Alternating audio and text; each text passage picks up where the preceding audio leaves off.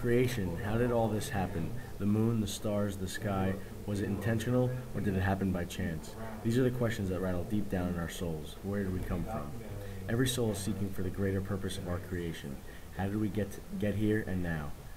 What created this beautiful creation we call Earth? Are we responsible for the mortal, finite state of our lives, or someone or something else? A simple creation story can answer a lot of these questions. It provides answers to some of the longings of our hearts and gives us direction in our search for how we came to be.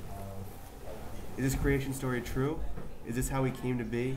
The philosophical mind would say no, but the tugging from our hearts says something different. It says that all this was much more than a random chance.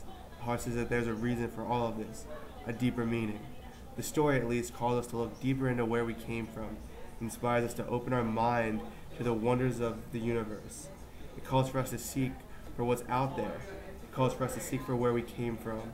It calls for us to take responsibility for the condition of the state of the world, but most of all, it calls us to seek out the meaning of our most precious possession, our life, from the beginning.